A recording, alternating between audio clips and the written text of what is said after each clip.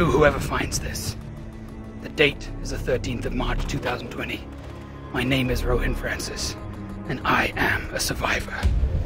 Pandemic pandemonium has gripped the country. I saw a man today, wild, feral, crying in the street. I asked him what was wrong, and he told me. Oh God, it's inhumane what people are going through. He told me that he was down to his last 600 rolls of toilet paper. This is my third COVID 19 video, and I was intending to make a video about either a scientific look at how coronavirus affects the heart and the lungs and what we actually do in intensive care, or a dedicated look at how it will affect hospitals and healthcare professionals. But I'll be honest, I've, I've sat here the whole day struggling to know how to even start either of those topics. It's 25 past one in the morning now. I felt frankly overwhelmed by the deluge of information coming at us from every angle, and I'm sure you have too. I've seen real anxiety amongst some of my friends, so I do hope still to, to get to those topics. But reading the public opinion right now and seeing how panic appears to be setting in as schools and flights and offices and the NBA are all shut down, I thought I'd make a quick interim video to assuage at least some of those fears, I hope, without ignoring any of the facts nor burying our heads in the sand.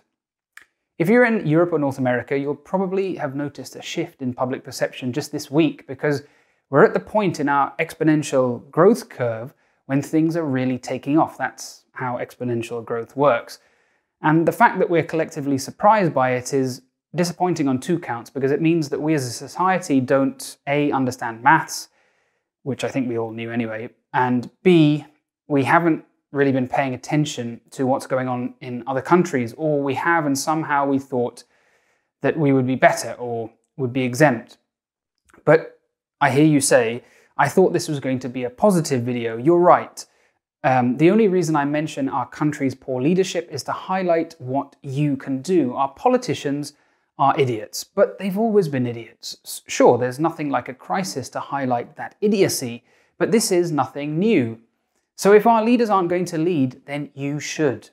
So here are some reasons to be positive. Reason number one, you can make a difference. Take the lead at your workplace, at school. Be a paragon of the advice that we all know by now meticulous hand washing, distancing yourself from others, avoiding unnecessary meetings, staying at home when possible, and in particular, isolating yourself if you're sick. The time has passed to worry about being teased for being overdramatic it's much better to overreact in a productive way than to fail to take this seriously. For example, a criticism often leveled at me is that I'm too laid back to the point of being almost horizontal, and I tend to be devoid of human emotions. So I surprised myself that I was the most proactive in a group of doctors with whom I was planning to go to a big social event this weekend. And I said, look, I just don't think it's the right thing to do at the moment. I got some funny comments, a bit of pushback, but you know what? It'll all be forgotten about in a few weeks. We can all be that person willing to take the first step. I've got a severely disabled brother. Many of us have elderly parents or grandparents, and even if you don't, your friends definitely do. Think of them. I met a friend the other day, and when she went to hug me, I went, eh, now, I mean, I've been reacting the same way to physical contact with non family members for about 30 years, but at least now I can blame the virus. I've seen a lot of people with good intentions say that this is less deadly than cancer or road traffic accidents, and I get what they're trying to do, but I don't think that's particularly helpful. I can't personally do anything about those other causes of death except for not knocking over people in my car, and they're constant unchanging from day to day, but COVID 19 is growing rapidly, and we can make a difference to that. I also think tweets like Elon Musk saying, extrapolating exponential growth is stupid and scaremongering is also not particularly helpful because no epidemiologist or statistician is doing that. They understand logistical growth, they correct for the virus slowing down, and they're still concerned. You can be reassuring without just ignoring the facts and talking nonsense. You've probably seen this graph or heard the phrase flatten the curve. So what's that all about? Well, simply put, countries which are not on total lockdown are not going to contain the virus. That chance has essentially passed, which is fine. We're not looking for total cessation of spread, but what we can do is delay the virus's progress through the population.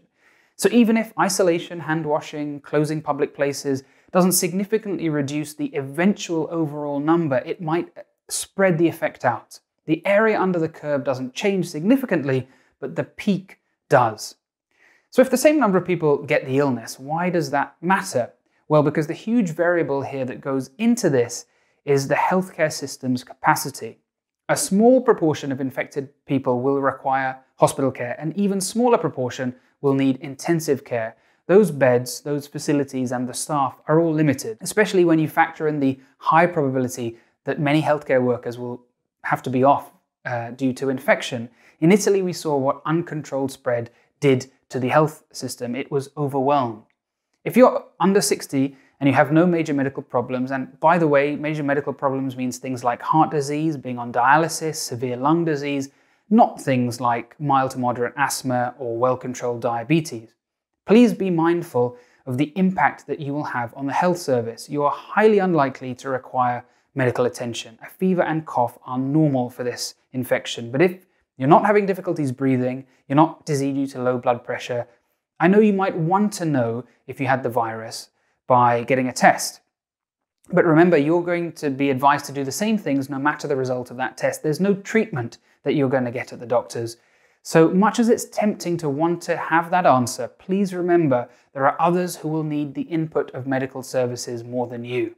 So flattening the curve means that at any one time there is less impact on the health service and a greater likelihood that we healthcare workers and the hospitals will be able to cope and may even have developed a treatment uh, by then.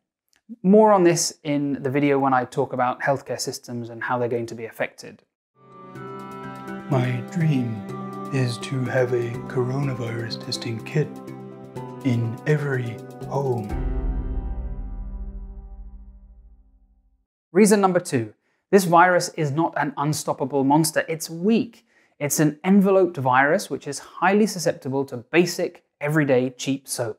The envelope around the virus is basically like a fat droplet, and as we all know, soap breaks up fat. Alcohol gel, over 70%, also dehydrates this layer. Norovirus, the vomiting bug that you've probably heard of from cruise ships and hospital wards, is much harder to get off your hands or surfaces. The virus is not aerosolized, it's not truly airborne. True airborne diseases are things like measles, which if you sneeze, they stay in the air for a very long time and infect many people.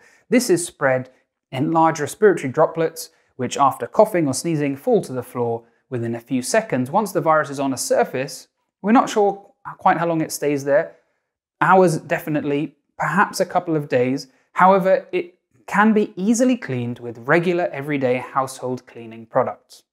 Reason number three, the stats are better than you think. There is understandably a lot of interest in the case fatality rate, i.e. what percentage of people who are infected go on to die. But it's more nuanced than just saying the number in isolation. You've probably heard it's around 3% at the moment, but there is no one case fatality rate. It changes. It's drastically different from region to region from time to time. In early January in China, it was over 20%, but rapidly fell to 0.7% by February. South Korea's case fatality rate is much lower than Italy's. Does that mean Korea's hospitals are much better? Probably not. It's all to do with simple maths. The case fatality rate is calculated by dividing the number of deaths by the total number of cases and multiplying by 100. So you can easily see that the larger the denominator, the smaller the rate will be. There will be many, many mild cases that have not been diagnosed. There is a bias towards severity because the mild people don't seek help. Secondly, it depends on how many tests a country is sending. Korea has intensively tested its population, sending off tens of thousands of tests in a short time. America, for example, has not tested many at all. This will affect the case fatality rate, and with time, we're likely to see it go down across the world, just as it has done in China and Korea. Johns Hopkins have suggested the case fatality rate at the end will be at most 0.6%, and for comparison, seasonal flu is 0.1%. Reason number four, we're seeing encouraging results from countries that are further along the chronology. At the time of recording, there have been about 130,000 cases in the world with 70,000 recovered, but the actual um, recovery percentage is likely to be much higher due to the, the way um, that the recovered is defined epidemiologically. China, Korea, Singapore, Hong Kong and Taiwan are seeing improvements. Now, China's intensely authoritarian approach is not really an option for most countries, nor do I think it should be, but we can replicate some of the measures taken by Korea, Taiwan, Singapore, and we know that they can make a difference. Reason number five the scientific community is working around the clock. Most people will be consuming updates about the virus via news channels, but for us in the medical world, we're reading the journals. Let me tell you a little bit about medical journals. When I submit an article, I normally have to wait months until it's accepted and then even longer until it's published. The medical press tends to move really slowly. But I've been blown away by the doctors in China, Korea, the countries that were affected early on, despite being swamped and working around the clock treating patients, losing some of their own ranks, they have been publishing like crazy. So have experts around the world. We're seeing faster turnaround times than I've ever known for scientific publications. And you know what? I'm extremely happy to see proper scientists being listened to by politicians for a change. When the first lab to grow the virus outside China in Melbourne announced their success, they immediately shared their knowledge and their samples. We're seeing incredible cooperation between academics, the WHO, the CDC, and so on.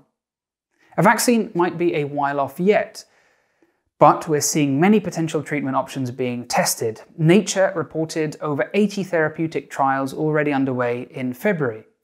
Drugs such as remdesivir, which was originally tested on Ebola and has some activity against MERS and other uh, coronaviridae, chloroquine, which is a malaria tablet, lopinavir and ritonavir, uh, HIV medications, and baricitinib, which is an arthritis medication, are being trialed. ACE2 receptor blockers, which are blood pressure tablets, are also being explored as an option, as ACE2 is the way that coronavirus gets into cells. It kind of makes me think about the HIV and AIDS early days when, again, the scientific community was dealing with something that they hadn't seen before. Now, obviously, what we're seeing today and dealing with is very, very different, but it took years to identify that. We already know what we're dealing with. And I genuinely feel really confident that we've got the brightest and best scientific minds on the case and we will beat this. Reason number six kids seem to be the least affected. We're not sure why this is yet. It's not unheard of. I'm sure you know that chickenpox really doesn't bother kids particularly, but it's a, nasty illness to adults, so it's not unprecedented. We have some theories, maybe because kids' immune systems are not as well developed as adults. They don't mount such a pronounced immune response. They don't get that cytokine storm. They have fewer symptoms like fever, or maybe it's because schools are petri dishes of disease and there may be some degree of cross immunity due to uh, kids having such frequent colds and sniffles, because of course a lot of them are caused by members of the coronavirus family, which may be similar to SARS CoV 2. And finally, bonus reason number seven, which doesn't really apply to everybody watching. Let me speak on behalf of people from the Asian continent. When I say we are watching the toilet paper wars of 2020 and laughing politely and behind our face mask to ourselves. Did you notice there weren't any Asians in the supermarket showdowns? Because, well, if you know, you know. So, Americans, Europeans, friends, once we get through this viral madness, and we will, let one legacy remain with you. There is a better way to clean your bum. Manco quando è scoppiata la seconda guerra mondiale c'era stato un panico così. Mamma mia. No, I, I can't end like that, can I? What I wanted to achieve with this video is to address what we're facing in a light-hearted way, but not to pretend that nothing's going to change. Life is going to be really different for all of us, for a while, months. But we're so much better equipped for this now than at any time in the past. Can you imagine self-isolation at home without the internet? Here in the docks in East London, which was bombed very heavily during World War II, the older generation talk about the Blitz spirit during the war. Faced with a much scarier threat than is facing us now, they didn't panic, they pulled together, they supported each other, and they got through it. Now that generation are the most at risk, and what we all do can make a huge difference. Coronavirus has begun, but how it ends is up to us.